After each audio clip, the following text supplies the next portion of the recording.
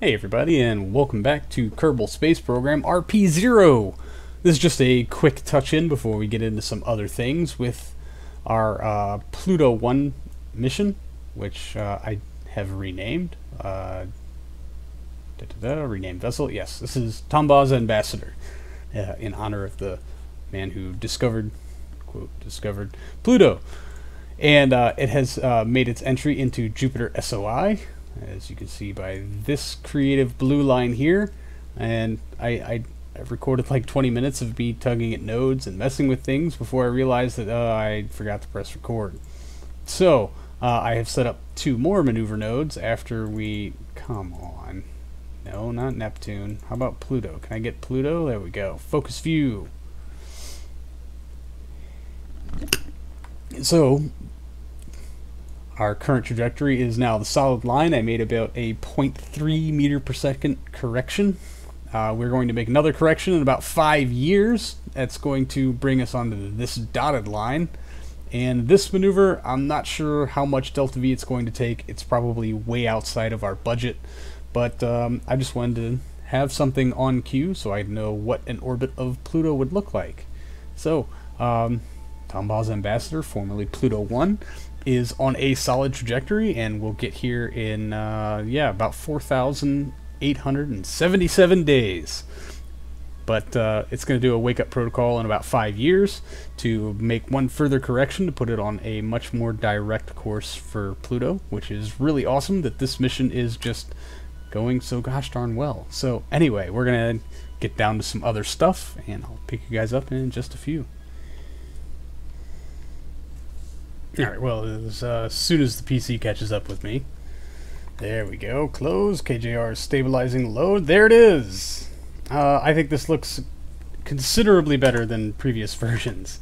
So, uh, SAS is on. Throttle is set to full. Ignition sequence start. That is a lot of engines.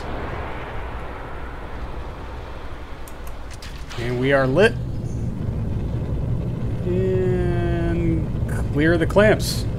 Alright, the uh, first hurdle has been passed. You can hear our RS-25s finally coming fully to light there, but uh, we are off and running at a 1.5 liftoff thrust-to-weight ratio. That is very respectable. Uh, the six F1s were giving you something like a 1.04, which made for kind of a crawl off the pad.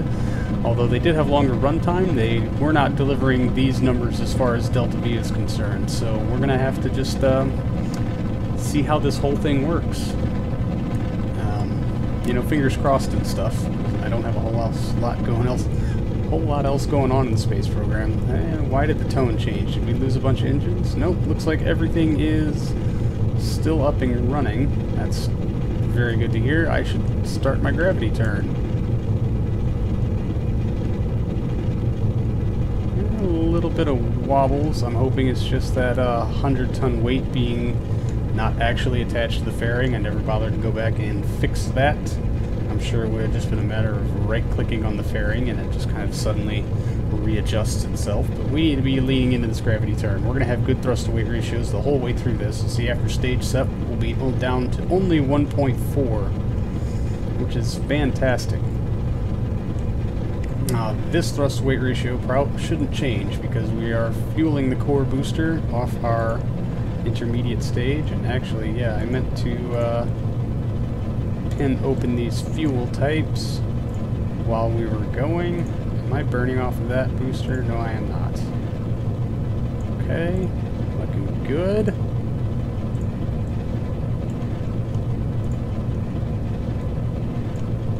Oh yeah, we need to be leaning into this a lot more than we are.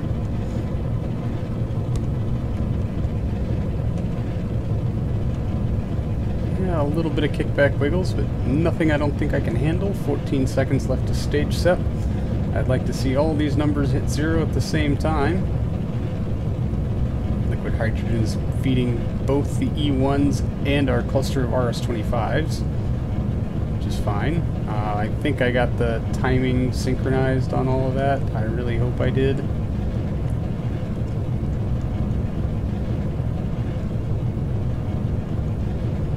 Guess we'll find out. Oh man, shock effects. That's new. so far everything's uh, looking green. Let's uh, hope this little guy, little guy, that's that's hilarious. This is easily the largest thing I've ever built. Anyway, let's uh, let's hope this thing pulls its weight all the way to orbit. And there's first booster set. They are clear and away. Uh, well, alright. I, I guess we're a little low in the atmosphere. Still. So them changing direction so suddenly, not surprising, aerodynamic stresses would claim them.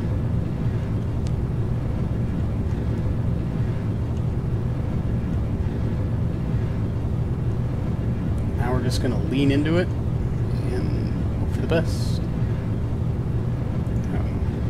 Alright, well, if you're a little confused by all of this, uh, don't worry, it's not your fault. I actually recorded about an hour's worth of footage of me um, building this out and explaining what I was doing, or at least uh, intending to explain what I was doing while I was building it in sped up footage, as I am prone to do. And uh, got all the way through it and got out to the launch pad before I realized OBS was just recording a bunch of uh, blank screen, but good audio. And I figured that's probably not the greatest thing in the world to watch here on the YouTubes. So I, am just going to do a brief explanation of things in post, but uh, old me is going to chime in here in a second with uh, relevant information. So I'll turn you back over to him for just a second. Whoa. Alright, well, we had one booster cut out before the others. That's interesting. And definitely something worth noting. Very odd. Very odd indeed. Right, well, now that he's done with that. Uh, initially, I built this with six F1 boosters, but was getting rather marginal results. And again, I'm going to chime in. It seems that weight gets higher and higher every time. Yes, yes, it does. Uh, it's way removed from the fairing. But now that I've got an actual gap in time with uh, some sped up footage. Uh, I built a version of this that looked pretty much identical. It just had six F1s.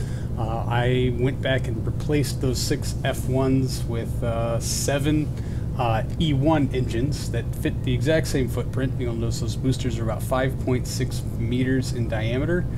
Uh, and I was getting much, much better uh, thrust to weight and delta V numbers from all of that. Now, the cross feeding was just kind of an idea I had since the boosters were could be so incredibly tall. Why not pack them with a little liquid hydrogen, liquid oxygen to feed the core stage while the boosters cross feed each other? It was just a matter of getting the amount of fuels synchronized because uh, they will draw, the core stage will draw liquid oxygen from the boosters that's intended for the Kerolox engines, even though it's not. So you have to get the timing just right to where all the fuels for all the engines and the boosters run out at the same time in order to prevent there being a offset in the mixture when you're down to just the core stage, which is why that whole building process took as long as it did. And I'm really kind of mad that I don't have the footage to show to you because uh, there was a lot of me just tinkering with things. Anyway, we are coming up on our orbital mark now, so I will turn you back over to Old Me, who will uh, carry us through the rest of the episode. And manual engine shutdown with uh, four seconds left to burn at 295 by 182 kilometer. Uh, I'd call that a success. Go ahead stage off our core. And uh, this is our new transfer stage. It is a little smaller, a little less capable than the uh, previous version, but I think it looks a whole lot better. Uh, just a personal preference, really. And we'll uh, wait for Kerbals to please don't crash. Please don't crash. I think the game crashed. Yeah, I think we lost it. Oh well. I figured out what I needed to figure out, and that is that this launch vehicle will work. This uh, total tonnage on this thing here is probably just under 500 tons. I was going to pull up MechJeb and check, but uh, I had, yeah, of course, yep, there's my spinny wheel. The game has crashed. Bummer. Well, that looks like a good enough place to leave this. So uh, that's going to do it for this episode, everybody. Thank you so much for hanging out. I do appreciate it. And I will see all of you in the next one. So until then. See you later. Oh, did you look at that? It as soon as I stopped the recording, it started working again. So I think this is uh, OBS just giving me some troubles, which would not be unheard of. And the dog is sitting right next to me. If it's not one thing, it's another, I guarantee you. Alright, I just wanted to see uh, how well this thing can actually maneuver. Not very well, turns out. But, you know, that's fine when you're cranking around 490 some odd tons.